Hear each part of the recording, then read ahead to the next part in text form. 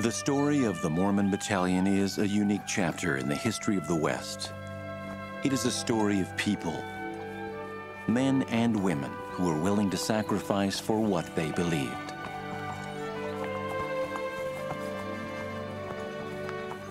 Their story has an unusual beginning.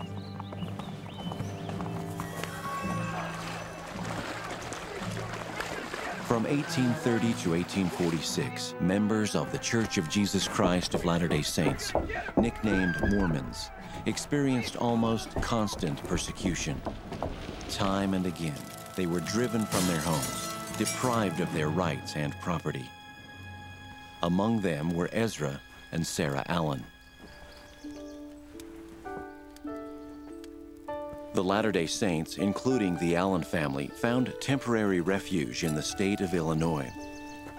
Within a few years, Nauvoo, their city on the banks of the Mississippi, rivaled Chicago in size. It seemed a haven from all the troubles of the past.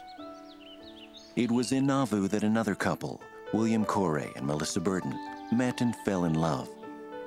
William proposed marriage, and Melissa accepted. But the peace and happiness of Nauvoo was short-lived. In 1844, Joseph Smith, the leader of the church, was killed by a mob. Homes and property outside the city were destroyed, and finally, in order to avoid further conflict, Brigham Young agreed that the Latter-day Saints would leave the state. Early in February 1846, the exodus of an entire city began. Ezra and Sarah, and William and Melissa put their lives and happiness on hold and once again left behind almost all that they possessed, starting out across the river toward an unknown destination.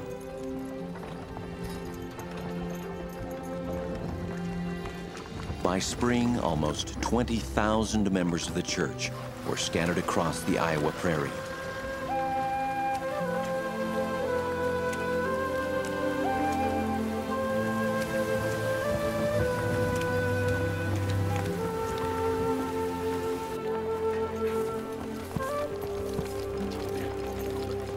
22, 1846, William and Melissa were married. Four days later, their happiness was interrupted when five men in uniform rode into camp. At the request of the President of the United The officer in charge, Captain Allen, announced that he had orders to enlist 500 Mormons in the war with Mexico. The enlistment came in response to a request by the leaders of the church for a way to help finance the immigration west. Still, it came as a shock to the families who first heard about it there on the prairie. It was quite a hard pill to swallow, to leave wives and children destitute and almost helpless, and go fight the battles of a government that had allowed some of its citizens to drive us from our homes. President Brigham Young said, the salvation of the church depended upon raising the army. When I heard this, my mind changed. I felt it was my duty to go. 496 volunteers mustered in, among them Ezra Allen and William Coray. The battalion was about to begin the longest infantry march in U.S. military history. It was not an easy thing saying goodbye to their families there on the prairie, wondering if they would ever see them again. The idea of being separated from her new husband didn't set well with 18-year-old Melissa. I don't see why women must always stay behind and worry about their husbands when they could just as well march beside them. Melissa signed up as a laundress. July 20th, the battalion marched away. They took little food except some flour and whatever they could carry. A blanket, a few clothes, a tin cup. July 24th, marched five miles. The weather, excessively hot. July 25th. No flour.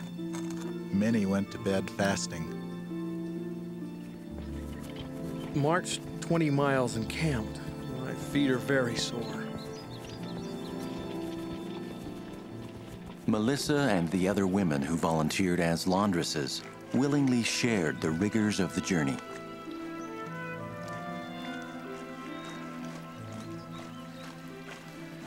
August 1st, the battalion reported for duty at Fort Leavenworth, Kansas. Each man received a musket and a few supplies, as well as a yearly clothing allowance of $42. Most sent the money back to help their families rather than buy uniforms. The only standard article all soldiers had was a white belt and instructions to keep it clean. From Fort Leavenworth, the battalion took its march to Santa Fe, and Brigham Young's promise was fulfilled. Though there will be battles fought in your front and in your rear, on your right and on your left, you will not have any fighting to do. Still, the battalion would endure many hardships. Saturday, August 15th. Our march was slow, the heat intense, the suffering of the sick intolerable. If anything was ailing any of the men, cold or blistered feet or anything else, the doctor would give a dose of calomel and arsenic. All were treated alike. By the time the battalion reached Santa Fe, over 150 were sick and had to be sent to Pueblo, Colorado to recover. September 26th, 23 miles. No rest. March is the daily task. Sick or well, sleep on the rough, cold ground with only one blanket to shelter from the cold. Some of the men recorded bits of poetry in their journals. How hard to starve and wear us out upon this sandy desert route. We sometimes now, for lack of bread, are less than quarter rations fed. At Santa Fe, the battalion was ordered to forge a wagon road to the Pacific Ocean.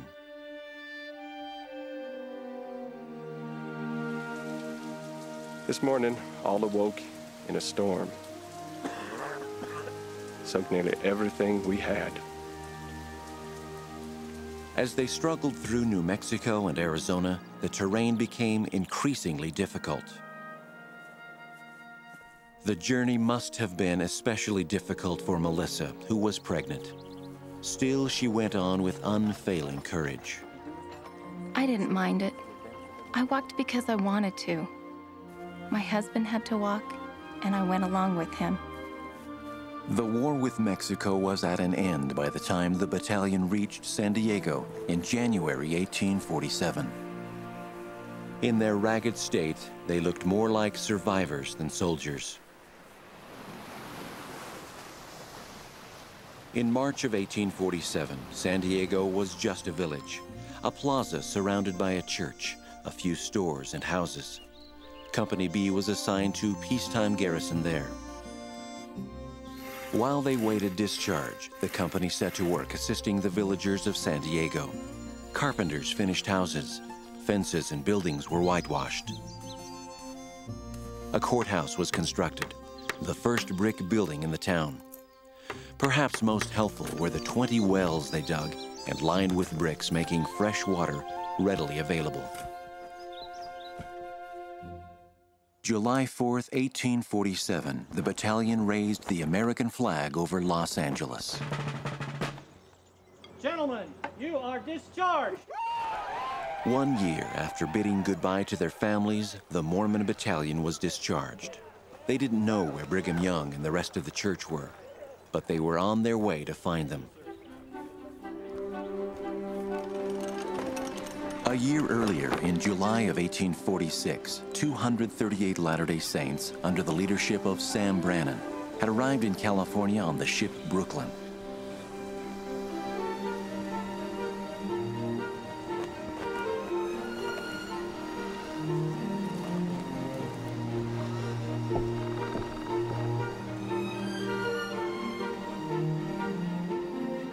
They became the first colonists in California under American rule. The old Californians were amazed at what they had brought with them. Dry goods, tools, vegetable seeds, school supplies, and a library of 179 books. They had also brought a printing press and a supply of newsprint. Everything needed to begin a newspaper. Following their discharge, many members of the battalion headed directly east to rejoin their families. But with speculation that Brigham Young and the rest of the church might continue on to California, some headed north. Among them, Ezra Allen and William and Melissa Coray. I thought it best to make my way fast as possible to San Francisco. But my wife, being in a delicate situation, I concluded to stop for a season in Monterey. October 2nd, 1847. My wife was delivered of a fine baby boy. I named him William, after myself. I have the greatest boy you ever saw. They planned to move to San Francisco as soon as she was well, but before they could leave, tragedy struck. Baby William died. They had only their faith to sustain them as they prepared to join their comrades in San Francisco. San Francisco is a beautiful place, a fine ship harbor. Things are improving rapidly. Under Brannan's leadership, the Latter day Saints had started San Francisco's first school, its first bank, and first post office. The printing press had been put to good use. The first edition of the California Star reached the streets of San Francisco January 7, 1847. It was the city's first newspaper. Meanwhile, about 80 members of the discharged battalion had stopped at Sutter's Fort and accepted temporary work in order to purchase needed supplies. Captain John A. Sutter, being desirous of building a flouring mill some six miles from the fort and a sawmill about 45 miles away, proposed to hire all the men. Sutter had wanted to build the mills for some time, but lacked skilled labor to do it. The battalion members, many experienced craftsmen from the East, provided the solution. They worked on a variety of projects. Six were hired to build a sawmill in the mountains. We arrived on the 29th of September. The surrounding country looked wild and lonesome, infested with wolves and grizzly bears. Things progressed well until December. Then winter rains brought high, swift water, which slowed the work. In their downtime, the men built a log cabin so they could move out of the one they had been sharing with the Wimmer family. They moved in on January 23rd. The next morning, as they were digging the tail race deeper, the first gold flakes were spotted. Thanks to the journal entries of two of the men, the date of the find was recorded. Monday, January 24th, 1848. This day, some kind of metal was found in the tail of the race that looks like gold. It was first found by James W. Marshall, the boss of the mill. The metal passed every test, including the harsh lye of Mrs. Wimmer's soap kettle. The only thing left to do was convince John Sutter. He was skeptical at first, but when he paid a visit to the mill, Marshall and the others determined to help convince him by salting the race.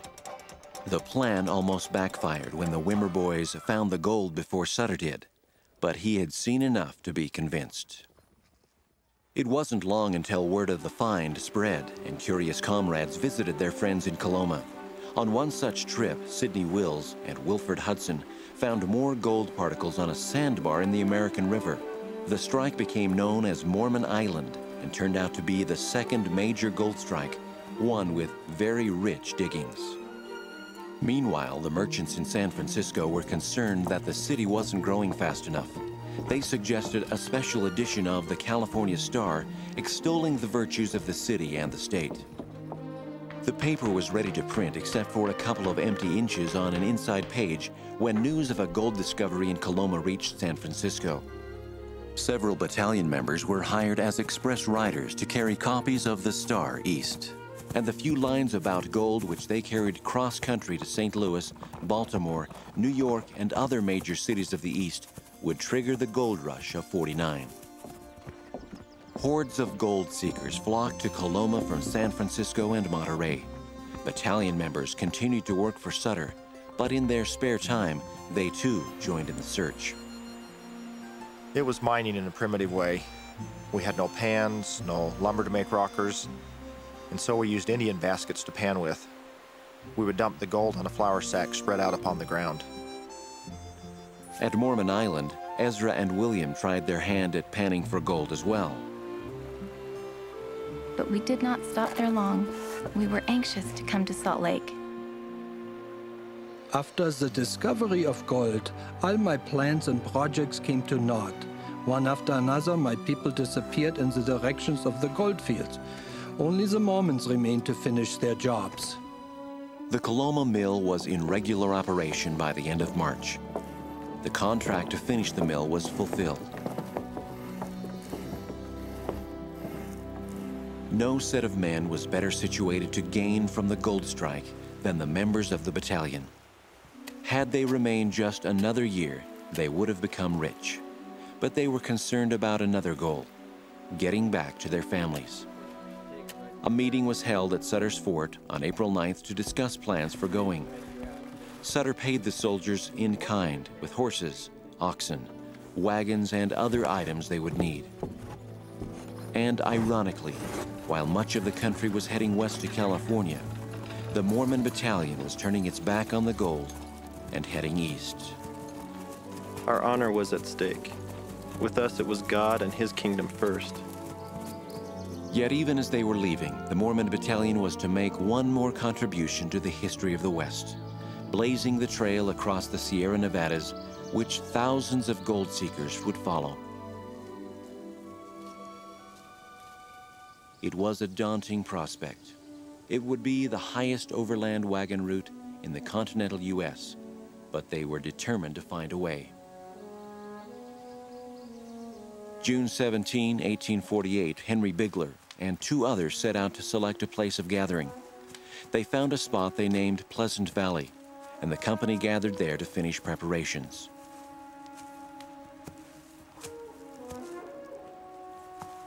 Daniel Browett was elected president of the company, and while the rest of the party was making preparations, he and Ezra Allen, along with Henderson Cox, went ahead to scout a trail along Iron Mountain Ridge to Carson Pass.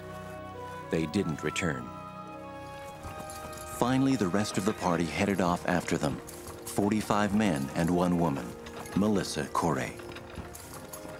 The country is rougher than first reports indicated. Brush and rocks give the wagons considerable difficulty in passing. Most of our time is consumed in working the road. Wednesday, July 19th. Discovered what looked like a shallow grave and dead campfire.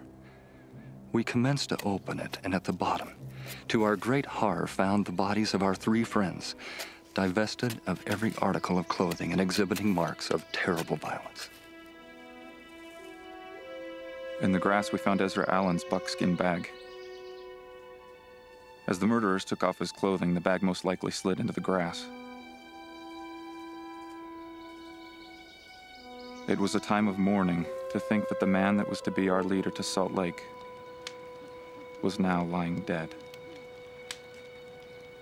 In all my journey with the battalion, this was the worst night. The company laid over a full day to prepare the grave of their friends, and Wilford Hudson carved an epitaph on a nearby tree. They named the place Tragedy Spring. Saturday, July 22nd, Rock Creek. The climb is even steeper now. Wagons continue to break down and need almost constant repair. 15 men worked the road to the top of the mountain.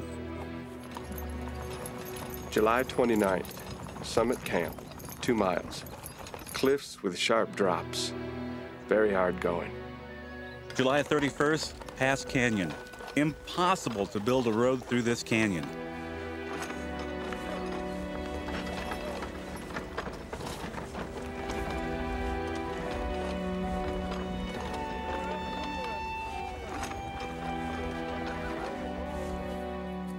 We had no hammers nor drill with which we could do anything with the stones. It seemed almost an impossibility to go farther. Finally, someone suggested that we build a fire on the rocks. When the fire had died down, we found that as far as the heat had penetrated, the rocks were all broken in small pieces, which were soon removed with pick and shovel. Another fire was built with the same result. After three or four fires, we found that the rocks were not much in our way, and we soon had a good wagon road right over them. It took seven days to cut a wagon road through the canyon, about seven miles at one mile a day. But in 40 days, the party had blazed about 170 miles of wagon road across trackless terrain.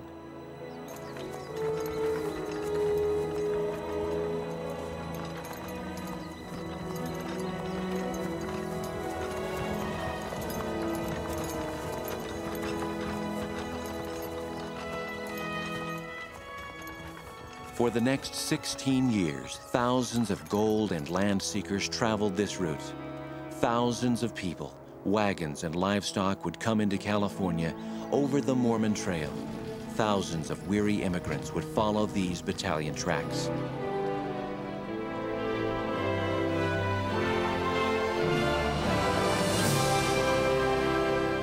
Melissa and William and their comrades reached Salt Lake City October 6, 1848.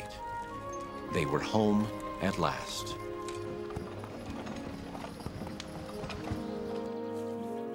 Later that fall, Sarah Allen waited for Ezra's return. I looked forward to the time when his strong arms would lift these burdens from my shoulders. Waiting and watching, listening to the sound of every footstep that approached my door. Word of Ezra's fate finally reached Sarah along with the pouch containing the gold. She used the gold to buy a wagon and supplies and bring her family west. But she reserved enough to make a wedding ring, which she wore the remainder of her life.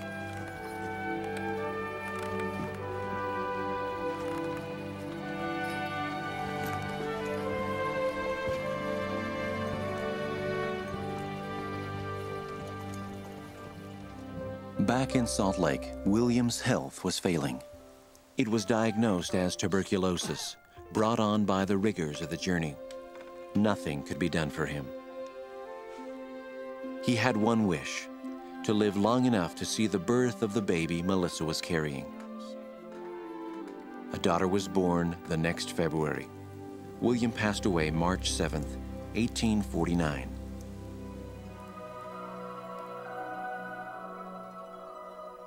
Looking back on my life, I do not feel to complain. I think my trials are great, but we have hopes of meeting again where we will not be subject to separation. So ended a history-making adventure.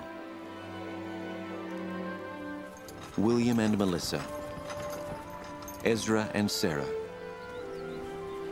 as well as hundreds of others, paid a costly price for their faith but the sacrifices they made live on.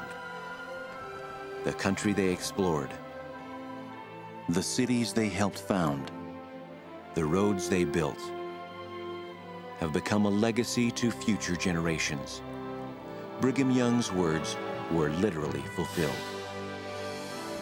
The Mormon Battalion will be held in honorable remembrance to the latest generation.